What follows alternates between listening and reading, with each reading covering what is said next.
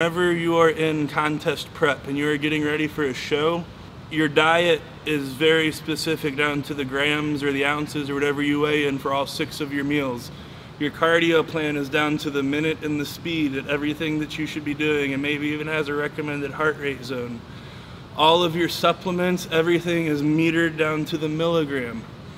Why in God's gentle green earth would you walk in the gym and not know exactly what you were going to do that day exactly what you did last time and what you need to do to beat it. And if you didn't beat it, why you didn't beat it. And if you did, why you did beat it. Hunter Labrada here with another uh, pro tip. This week I wanted to talk to you about something that is very near and dear to my heart, and that is a logbook. I know that doesn't sound very glamorous or that exciting, but hopefully by the end of this video you will understand why it is literally one of the most important things that you can do and why it's low-hanging fruit for a lot of people. Not a lot of people do it or at least do it to the degree that they should. You know, before we talk about logbook, this is, you know, my current one. I wanted to show you all. It's kind of, you know, getting cool at this point. This one's got Chicago, the 2021 Olympia, 2021 health phase. It's got my 2022 off season. It's got the uh, pre-Olympia, you know, phase. And then most recently it has my, uh, somewhere in here, 2022 Olympia prep. But anyways, um, what I'm getting at is a logbook, whether you're in the off season or in contest prep, is such an important tool for gauging performance, gauging progress, and gauging fatigue.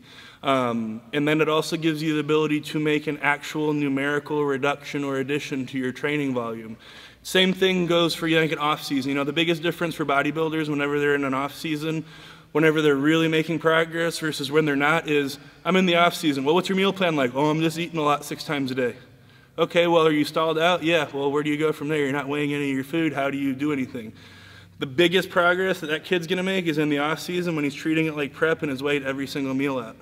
Same thing goes with the training. If you are logging every single set of every single session, and you can look back three, four, five, six sessions in the off season and see the weights trending up, you know that you're in a caloric surplus, you know that you're getting stronger, you know that you're progressing all your lifts. There's no reason to go back to the drawing board. There's every reason in the world to just put your head down and fucking work and continue to do it.